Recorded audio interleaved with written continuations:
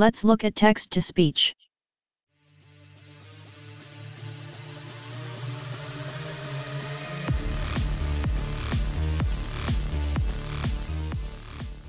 Alright, so today we're going to take a look at doing text to speech. We have a text edit here where we're able to go ahead and type in anything we would like, such as the classic hello world. We can hit speak and text to speech is going to activate on our device. Hello world.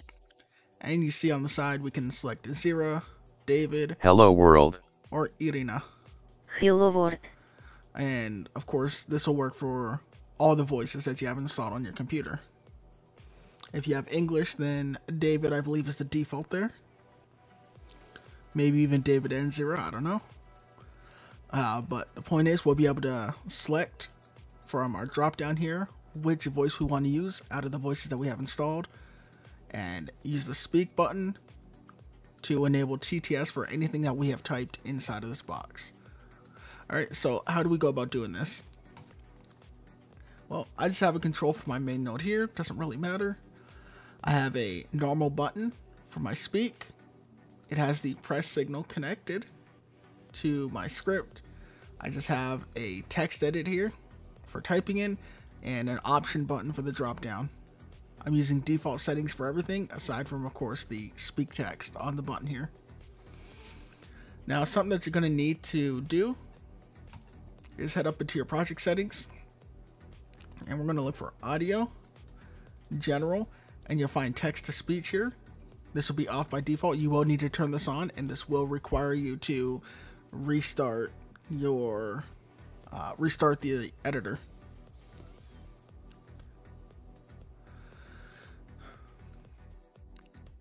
Alright, so let's jump into the code. How do we make this happen? Alright, well to start things off here on my script, I just have three exports here so I can get easy access to my text edit, my speak button, and our drop down button, our drop down menu.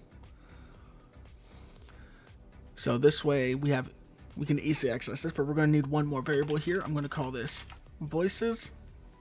This is going to be an array, and this is going to be an array of dictionaries. Now what this is going to be is this is going to be our list of all the voices for TTS that we have installed on our computer. So to get this, we actually have to access the display server dot, and we can go get uh, is it TTS or voices? I had that a little backwards. It's not T get TTS, it's TTS get voices. And that will go ahead and show us all the voices on the computer. So if we go ahead and print, we can come down here and print out the voices in our ready. And when we run that, we'll see down in the output an array full of dictionaries and each dictionary is its own voice. We can see it's got an ID, it has a name, it's got the language, and that's it. Now we can use these, as you can see the names there is what we're going to display inside of the text, or sorry, in our drop down menu. Um, if you wanted to look for specific languages, this is where you can then filter out the language. But for now, what we're going to do is we're going to add these voices into our options button. So what we're going to do is we're going to say, I'm to come in and say for V in voices. All right, so each of those dictionary entries, we're to get our voice options variable we created, which is our option button, our drop down, and call add item on it. And what we're to add is we're to add V for that dictionary item, and we're to add the name. And that's under the key in this dictionary called name. So if we run this now, we should now see in our dropdown, we have all options here. Now you may have one, you may have two. Uh, if you're bilingual, you may have uh, more. And you can, I believe you can add these voices in by adding in more languages uh, inside of your uh, settings for your operating system. All right, so we have those voices down. Now, how do we actually select this? when it comes to actually doing our TTS. So how do we know which one we're going to select? And how do we actually do the TTS? Well, we're going to need a few variables here. So when our speak button gets pressed, I'm just going to add a little space here for us. I'm going to create a few variables. We're going to need the text that we're looking for, which of course is going to be a string.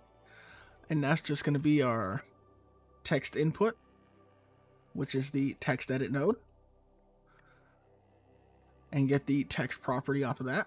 So now text is the thing that we want to say. I'm going to create another variable called VID, and this is going to be the voice ID.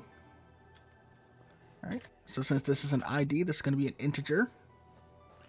And since we are adding things in order that they appear in our array of voices, we can actually use this ID. So we're going to go ahead and we're going to set this equal to uh, our voice options dot get selected ID and this is going to return to us the ID of uh, the voice that we currently have selected. So if we have the second option selected, this is going to give us a VID of 1. If we have the first item, it's going to return to us 0. If we have the third, it's going to return to us 2, and so on. All right, so now with this ID, we know which voice in our array that we want to use. And in order for us to actually use or perform a TTS, we actually need to get the ID from uh, that voice entry in our list. All right, so I'm going to create a variable called speaker. It's going to be a string. And here we can access our voices. All right. And we can, the entry one we want to access is our VID, right? The entry that comes back. So if the first verse first item selected, then we want to get the first item in our voices. And what we want to get from there is inside of that, as I was saying with the speaker, we want to get the ID. So we want to access the ID key and get the value from that. All right, so now we have everything that we need in order to use TTS. All right, so I'm gonna say TTS, oh, sorry, not TTS. We gotta go to our display server first. Dot TTS underscore speak. And if I just back that up there, uh, you can notice here we have a few options here. We can pause, we can resume, uh, we can set the callback. We can check if it's currently speaking, if it's paused. And as you see there, aside from get voices, we can get voices for a specific language. So if you wanted to maybe have uh, this set up in your game, if the user selects Russian for their language, then you could get just the voices for Russian.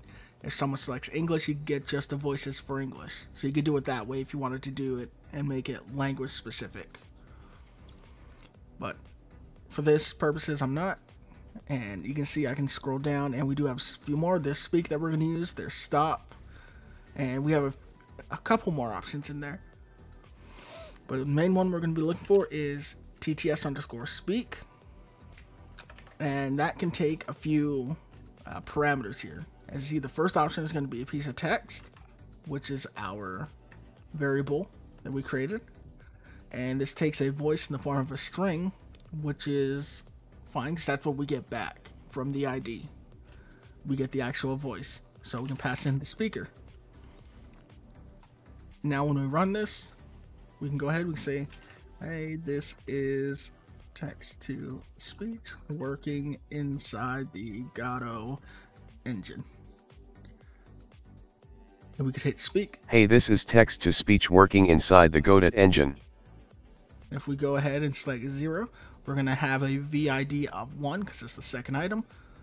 That 1 is going to be used to uh, grab the correct ID for the speaker. And when we hit speak. Hey this is text to speech working inside the Godot engine. And the same thing if we select it or not, it's going to be a third option. We're going to have a VID of 2 get passed in to select that voice. Hitis is text to speech working inside the Godot engine. So you can see we have how this can work.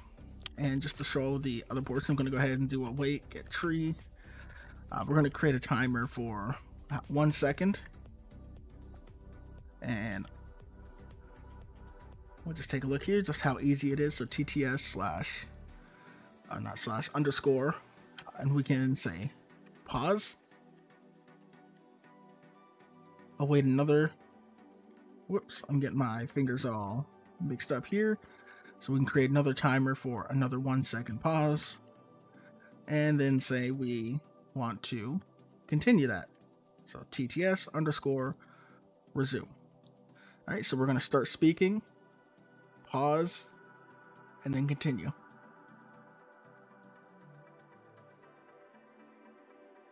Hey this is text to speech working inside the Godot engine. Now you may not have noticed that, so let me go ahead and put like a three second pause there. That should be more noticeable for us. And I'll just open that back up. Hey this is text to speech working inside the Godot engine.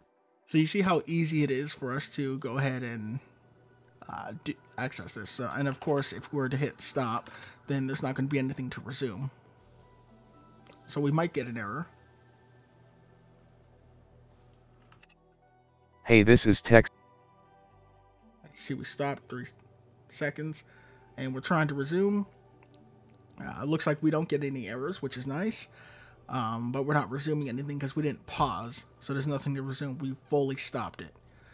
All right, so there's how you use TTS to speak. So if you want to add some accessibility, there's how you stop it, pause, and resume. All right, take care, have yourselves a good one, and I'll see you guys in the next one. If you want to support the channel, check out the Patreon.